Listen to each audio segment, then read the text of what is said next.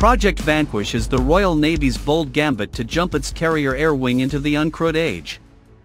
The Ministry of Defense is asking industry for a jet turbine, high subsonic, fixed-wing short takeoff and landing autonomous collaborative platform capable of launching and recovering to a Queen Elizabeth-class carrier without catapults or arrestor wires. A positive step in the new First Sea Lord's pursuit of lethal mass. The target is a technical demonstration at sea by the end of 2026, showing an attritable Tier 2 aircraft with credible payload and endurance that can do intelligence surveillance, strike and even air-to-air -air refueling a vital complement to the manned F-35B. In short, a competition has been launched to build a drone for the carrier, and one you can afford to lose. Tier 1 means a one-shot system, like most of the drones used by the Russians, the Houthis and the Iranians, Tier 2 is one that is quite capable of coming back from a mission but cheap enough that you don't cry if you lose one, like many American unmanned systems. Tier 3 is a high-end job that you can't afford to be losing very often.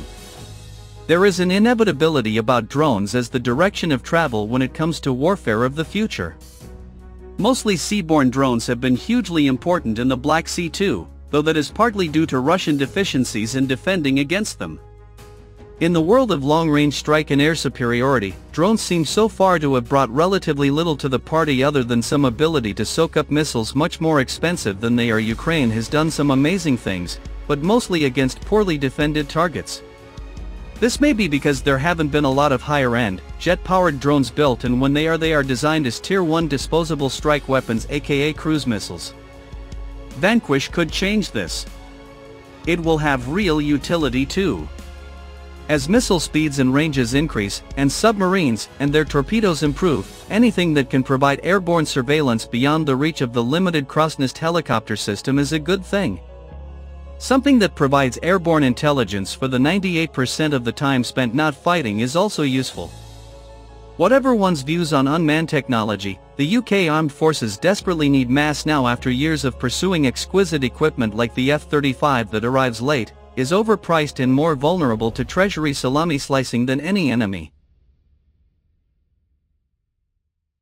The Royal Navy's carriers are designed for 36 combat jets, HMS Prince of Wales is currently deployed with around half that, and we have never done much better.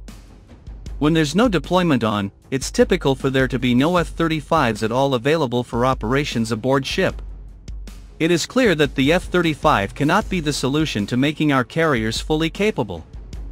We now need the government to create the environment in which Vanquish can happen fast, probably by helping our smaller companies thrive. This requires a cultural shift, particularly around our tolerance for risk. As well as being a useful weapon and sensor, Vanquish could be part of this shift. It will have real utility too. As missile speeds and ranges increase, and submarines and their torpedoes improve, anything that can provide airborne surveillance beyond the reach of the limited Crowsnest helicopter system is a good thing. Something that provides airborne intelligence for the 98% of the time spent not fighting is also useful.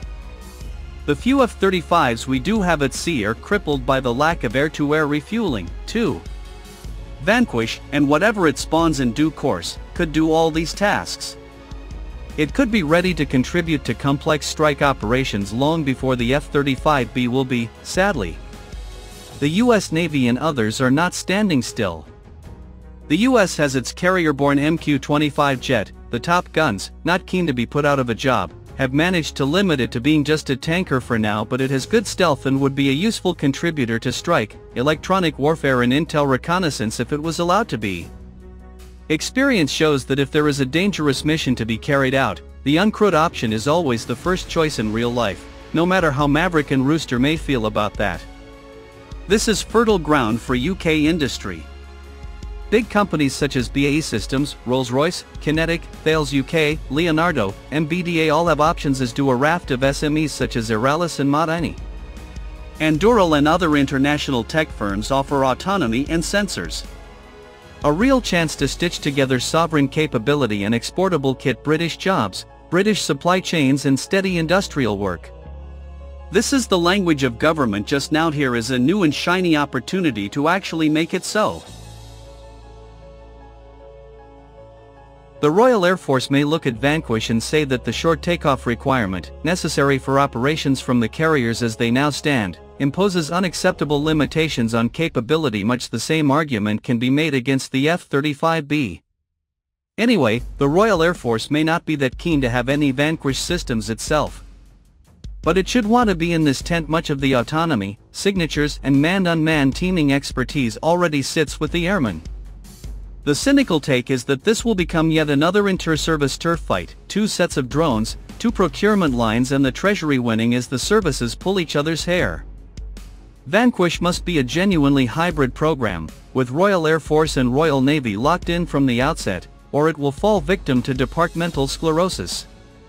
Our track record here is not good, but noises coming from Whitehall on this project so far are. I am behind the sofa looking at this through partially splayed fingers, but let's see.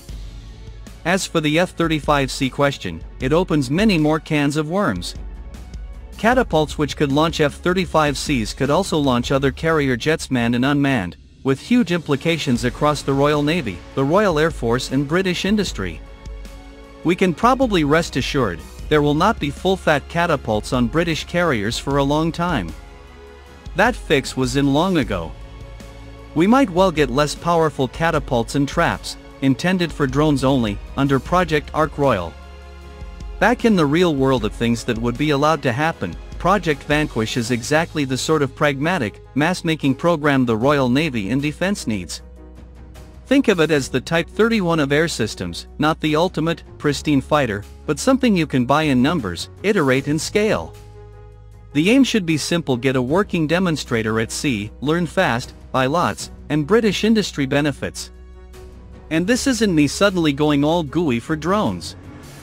As with all uncrewed systems, they need to be part of a holistic and well-funded spread of capabilities from disposable to exquisite. Years of underfunding has baked in an either slash or mentality when it comes to our vision for equipment procurement. This now needs to end.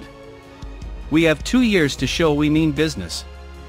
If the Royal Navy and its partners do this properly, Vanquish could change carrier operations. The risk is political and cultural, not technical, will we let it be a bridge to a genuinely hybrid air wing, or will it be another nice demo that dies in procurement purgatory? All of this needs funding and it will be interesting to see what the Defense Investment Plan says about it when that is published later this year. But for now this is a positive step in the first Sea Lord's pursuit of lethal mass.